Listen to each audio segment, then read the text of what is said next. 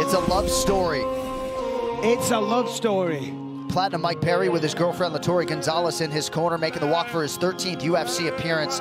This man has fought a murderer's row of UFC welterweights thus far, Michael. Last appearance back in December against Geoff Neal, but that was preceded by a fight against Vicente Luque that could have put him in the top 12. Yeah, that was definitely a fight of the year contender. And to your point, I mean, how can you not be a fan of this man? Because he just brings so much energy, so much charisma, and so much crazy. When you put that all together, when he steps in the octagon, he fights his heart out. As simple as that. It doesn't matter how much damage he takes, he keeps coming forward. Now, the controversial thing was, if you see there, there's one corner man or one corner woman, which is his new girlfriend. As we know, he could have three cornermen if he wanted, but he wasn't interested. He said, she is the only one that I need. He's reduced his sparring. He said, I've only sparred a couple of times in preparation for this fight.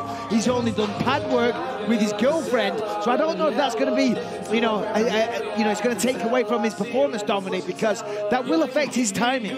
Well, yeah, I mean, technically you do pads so you can get your timing, get your get your rhythm, get your hand speed up.